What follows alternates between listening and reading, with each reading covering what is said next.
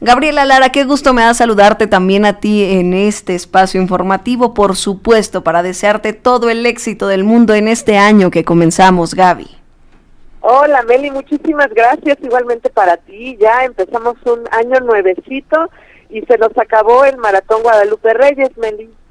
Ya se nos acabó, Gaby. Hoy dicen que ya por fin hoy es para comenzar muchas cosas. Yo digo que también nos da pauta para pensar muchas otras cosas más, porque termina de igual forma hoy este eh, reto Guadalupe Reinas, que tú mejor que nadie explícanos de qué se trató este, este tiempo. Exacto. Exactamente, también también coincide con que termina el maratón de lectura Guadalupe Reinas. ¿Y en qué consiste, Meli, este maratón? Pues en leer durante este periodo del 12 de diciembre al 6 de enero, únicamente libros escritos por mujeres, Meli. Fíjate que este reto tiene ya siete años de llevarse a cabo y lo iniciaron en redes, eh, un grupo, un colectivo que se llama Libros de Cuatro Tipos. Este colectivo inició con este, con este reto, Meli, que consiste en elegir eh, 10 títulos diferentes que tú vas a leer en ese transcurso de tiempo. Claro, a lo mejor no te da tiempo de leerlos todos, ¿no?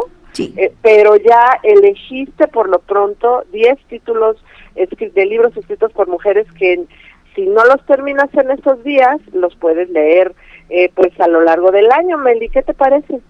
Oye, eso está increíble, Gaby, pero eh, cuéntanos más de los términos y condiciones en que funcionó este reto, que hay que retomar, no importa que ya haya concluido todo este tiempo, hoy 6 de enero.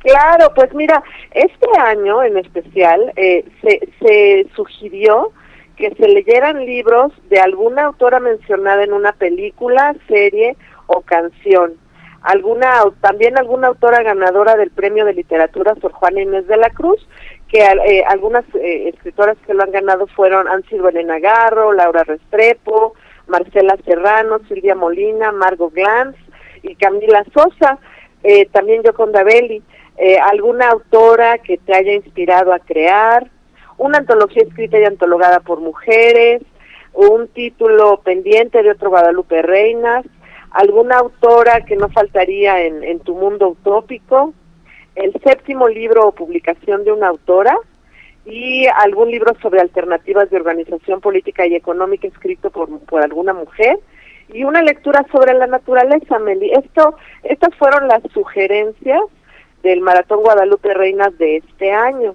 Y bueno, eh, yo fíjate que empecé a leer justo eh, empecé el año leyendo a, a, Joan Didion, eh, empecé a leer el libro que se llama El año del pensamiento mágico. No sabes qué belleza del libro, Meli. Eh, no sé si tú has tenido oportunidad de ver el... el, el tiene un corto, tienen un, un documental, perdón, en Netflix. No sé si lo has, lo has visto. No, no, no te, no he tenido la oportunidad, Gaby. pero te lo recomiendo un montón. Por, fíjate que yo a raíz de ver ese documental me, me interesó leerla. Yo no, yo soy una autora que no conocía y, y no sabes qué belleza del libro. Lo que ella narra es el duelo que tiene cuando pierde a su marido, que también era escritor. Entonces lo que ella hace es imponerse a investigar eh, sobre lo que significa el duelo y la pérdida de una, de, de bueno, de una persona amada.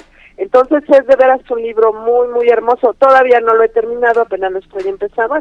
sí, apenas lo estoy empezando, pero, pero este fue, este fue como que mi manera de entrarle al reto. Ya un poco tarde, pero sí lo entré. ¿Cómo, ¿Cómo se llama la serie en Netflix, Gaby?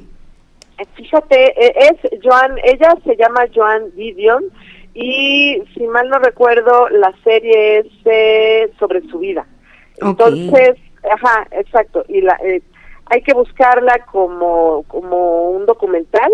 Ahorita déjame rápidamente te investigo. Mientras yo yo te voy a recomendar otro libro que me gusta muchísimo, Gaby, que si bien no es eh, eh, literatura propiamente de novelas o poesía, a mí particularmente una de las mujeres que más impactó mi vida sin duda es la periodista y escritora Lidia Cacho Y tiene un libro eh, que eh, el año pasado, en 2023, se lanzó de los de la decena de libros que tiene y que, bueno, versan de muchos temas. Eh, quienes están habituados al tema sabrán que ella es asidua a investigar sobre las violaciones de derechos humanos respecto a la trata de mujeres, al abuso de niños, pero este libro es eh, uno muy bonito que se llama Rebeldes y Libres.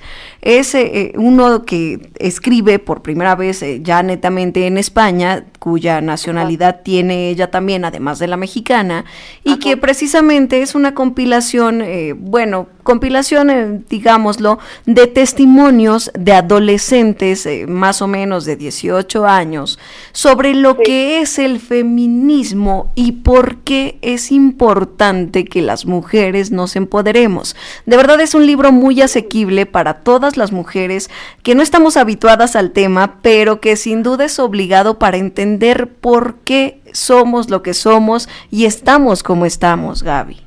Y por qué es importante eh, leer a mujeres, ¿no? Eh, porque bueno, también es una, Lidia Cacho es una periodista pues muy importante, ¿no? y, que ha, investigado temas muy, muy fuertes. Mira, el, el, documental de Joan Didion se llama El Centro Cederá. ¿El Centro Cederá? Ajá, o el Centro Cede. Ok. Y es, este, y es el, el, el, te digo, es un documental que está en Netflix.